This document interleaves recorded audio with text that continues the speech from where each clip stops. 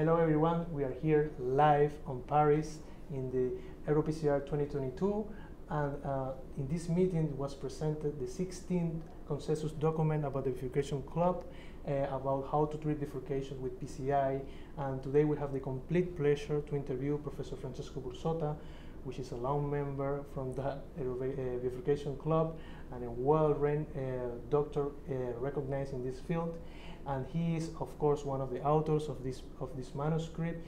Uh, we will make today a different uh, interview because there is no new data to present mm -hmm. because it's a consensus document. So having the opportunity to introduce Professor Burzotta from Gemelli Hospital in Rome, uh, I would like to have a view into the history of how you have come from zero, one had to say, to the 16 document. This is a long road.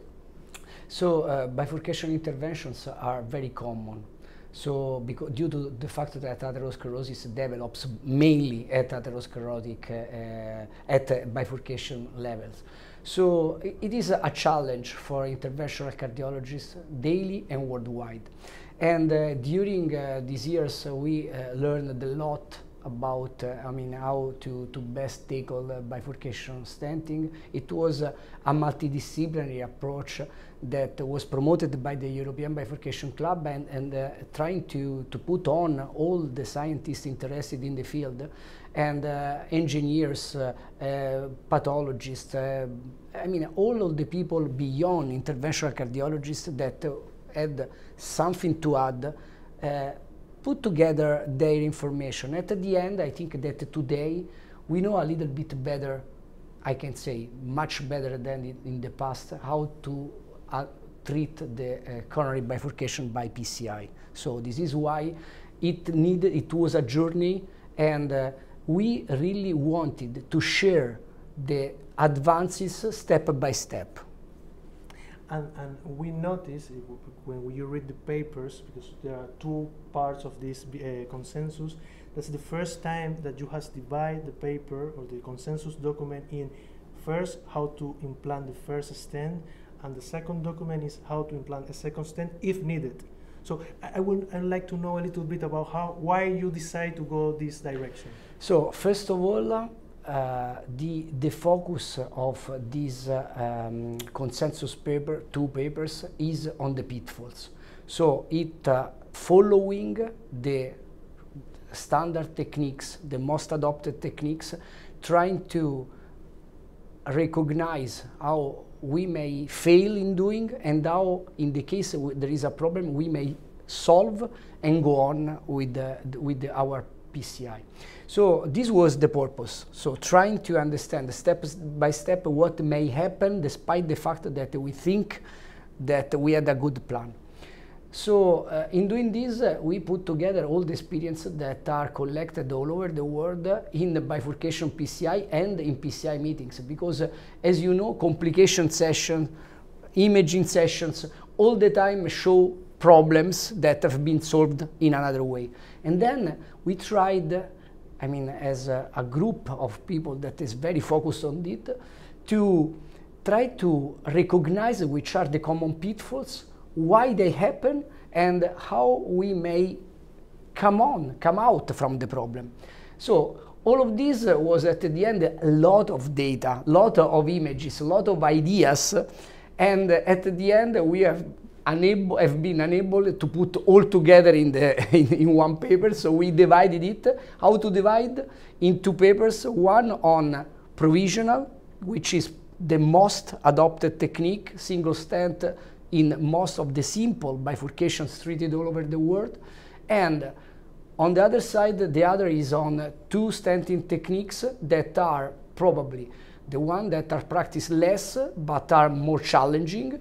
So there is a lot of interest on them, and this is uh, the, the final result, two papers.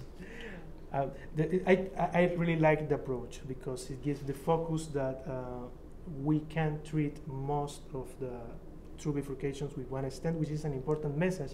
And this leads me to my next, uh, the last question is, there is a lot of young people between the audience of, of PCR Online EuroIntervention and in the EuroPCR 22, people watching us live here and also in the platform and in the internet.